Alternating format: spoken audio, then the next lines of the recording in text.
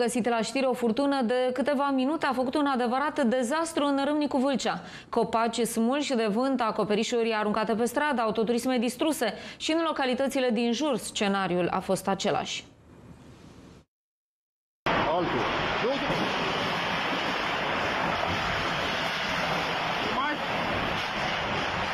Hai că mă uit eu mașină la aceea. Pentru județul Vâlcea a fost emis un cod roșu de furtună valabil pentru 35 de minute. Atât a durat și vijelia care a făcut ravagii în tot orașul. Bucăți din acoperișurile mai multor clădiri au căzut pe stradă și au distrus tot ce au prins în cale. De asemenea, mai mulți copaci au fost rupți de vântul extrem de puternic și aruncați peste mașini și terase. Din fericire, nimeni nu a fost rănit, însă furtuna a lăsat în urmă un adevărat dezastru.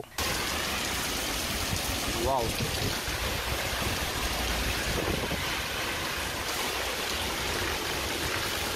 Și în alte localități din județul Vâlcea, scenariul a fost același, iar vremea extremă va continua în țara noastră. În uh, sudul și în uh, partea de est a Transilvaniei, în sudul Banatului, în vestul nord-vestul uh, Munteniei, iar în Oltenia, de asemenea nord-vestul Munteniei și zona Carpaților Meridionali, uh, este în vigoare, de fapt va intra în vigoare de la ora 12 un cod uh, portocaliu.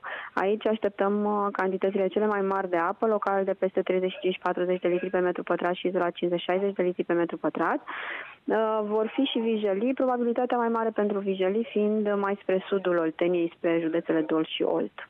Dar asta nu înseamnă că nu vom avea în continuare și zile caniculare încă două zile cu temperaturi foarte ridicate de peste 33-34 de grade, la nivelul întregii țări maxime cuprinse între 33 și 36 de grade, doar prin, um, pe la, pe, prin zona litoralului, pe la munte, să fie uh, temperaturi uh, sub 30 de grade.